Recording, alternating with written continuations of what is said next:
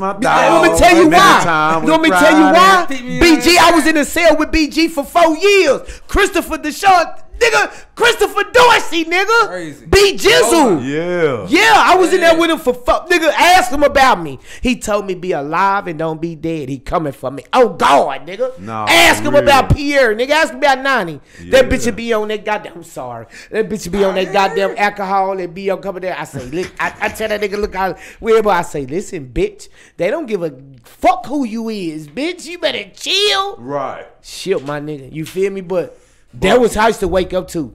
I used to, yeah, You yeah. got it, I want it. Bitch, I'm on two or three shirts. I'm trying to get a nigga going.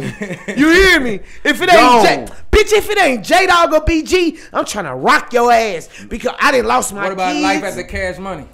Jeezy, where you been? Jeezy, where Ooh. you been? Trying to make a dollar out of 15 15 cents. I heard Juvie went back. Is you going going back? Juvie, that's my dog, but I ain't rocking like that. Oh, hey, long live my homeboy Big Mark. We used to ride around. hey, we used to ride around in his Monte Carlo, and he'll put that bitch on repeat. That song, Riding Factory. That that's. I love him, dog. Hey, hey, he said, "Fuck one made back ten lakhs coming through." That's Oh different. God, nigga. And Free BG, he was my, one of my favorite hot and, boys. and I tell But my Wayne, artists, I- Wayne, that motherfucker though. bro, I tell And my, Juvie was that motherfucker though. bro, Hey. I tell And my BG's artists, that motherfucker. I tell my artists, look,